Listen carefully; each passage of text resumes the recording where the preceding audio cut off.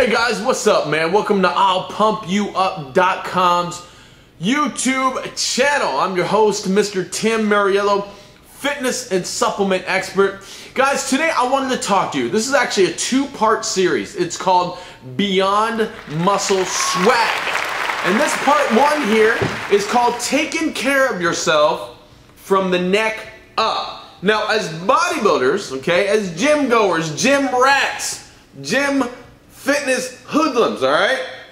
We are so concerned about our bodies, our muscles, how our muscles look, how we look naked, okay?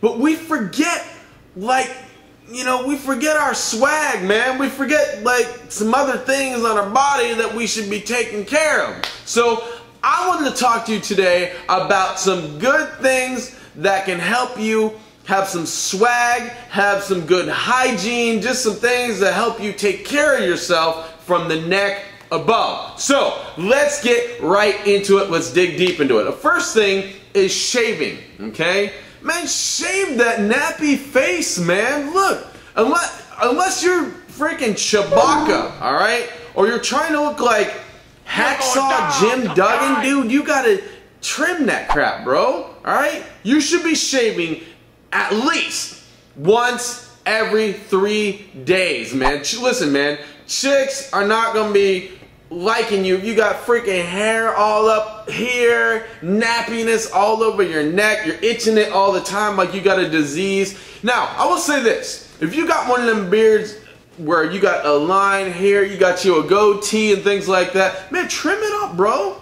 Get the equipment that you need, the little razors or whatever clipper items that you use, and trim that thing up. Make sure that thing is nice and neat looking. Especially if you're one of them dudes that actually has one of those real skinny lines. How the heck do you guys get that? I can't even grow that myself, man. Keep your neck looking good. Now, I will say this, man. A good tip when you're shaving eh, for ingrown hairs is always pre-scrub your neck and your face before you shave if you can. I like to take a shower first and I actually take a loofah and I scrub my neck all up. I scrub my entire face with a lot of hot water. I soften up those neck hairs, that facial hair, and I get all the ingrown hairs out and standing on end or whatever. So this way when I go to shave, it's a real clear, uh, clean, smooth shave. There's no snags and that eliminates a lot of zits, a lot of bumps, and ingrown hairs on your neck particularly. Next thing, tweezers. Dude, listen, tweezers are not just for girls, man. Brothers, dude, fellow, whatever, go get you some freaking tweezers, man. Look, you don't want a unibrow, dude. Unibrows are they're they're they're not cool. All right, you don't want to wind up looking like Anthony Davis. Now, Anthony Davis, I know he plays for the New Orleans Hornets. He's a great basketball player. I'm sure he's a great kid, and he's probably cool with his with his eyebrows like that. I'm just saying, dude, my recommendation, bro. If you want to find you a girlfriend, if you want to have some swag on you, man, take care of yourself. Get you some tweezers and start tweezing them bad boys in between there, around there, over here. Make sure them eyebrows are airtight. I need to do mine just a little bit, man.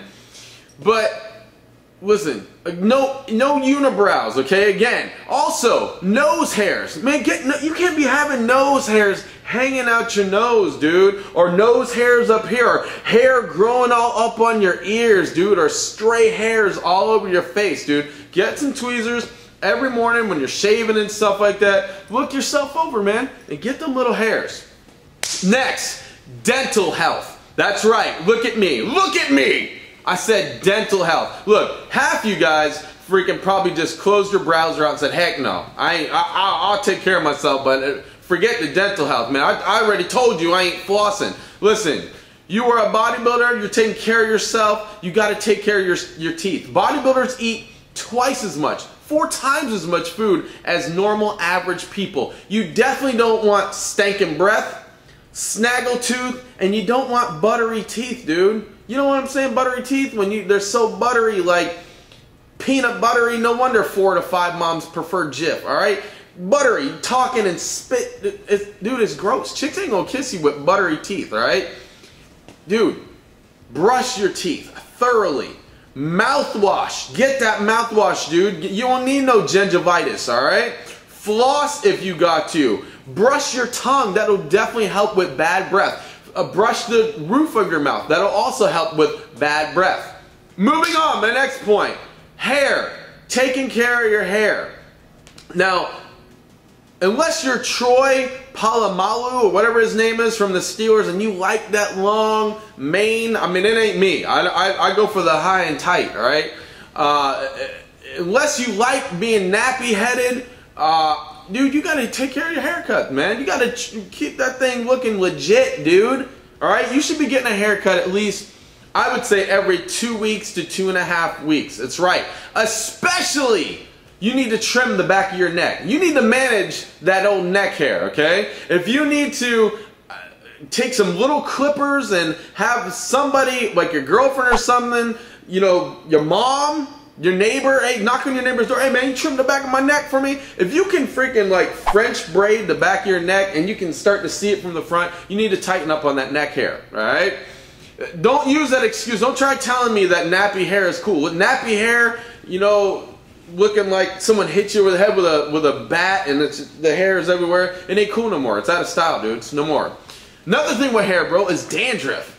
Dude, you should when you're talking with people, you should not be snowing at the same time, okay? Get that get that dandruff off you. Get listen, you're investing money in supplements. Get some head and shoulders, man. Get that deep deep up in the scalp. Dig. Use your nails. dig up in it, man. Get rid of that dandruff, dude. That's a huge turnoff for women. Another thing, moving on, is ears. Yeah, I said ears, man. You gotta take care of your ears, man. Look, you can't have potato chips dangling out your ear, man. All right? you don't want, you know, someone looking in your ear got freaking like, you know, pieces of, you know, Lay's potato chips, they falling everywhere, all right? A Q-tip ain't gonna kill you, all right? It's not gonna harm you. You're not gonna burst an eardrum, dude. You're gonna be all right. You need to get in that ear with a Q-tip once a week. Ear hair, if you got it on the lobe, you got it over here, shave that, get, keep it tight, man. Maybe put an earring or two in there, you all right? You like these? Look at these. Captain America earrings all day. Last but not least, now remember this is part one. Got a part two coming up. Last but not least is zits on your face. Now some people can't help it. I do know that. I'm, I'm being dead serious. Some people can't help it. They do have acne problems. They need a dermatologist. They need Retin-A, uh, which is a doctor prescribed uh, ointment that you put on your face for zits. But dude, the best you can do, man, is definitely uh, wash your face. When you're in the gym, when you're done working out, go to that sink. Get that soap, get the hot water, wash your hands, wash your face, blow your nose, whatever you gotta do. Um, wash your face throughout the day. Don't touch your face all the time. Don't scratch your butt crack and then, you know, freaking fickle. You know, no, no fickling all over your face. Keep your face clean, bro, all right? You won't, it'll eliminate zits. All right, there you have it. Part one, Beyond Muscle Swag. Part one, taking care of yourself from the neck up. Guys, part two's coming up. Don't forget to subscribe. Find us on Facebook and Twitter, and we'll talk to you real soon, guys. See ya.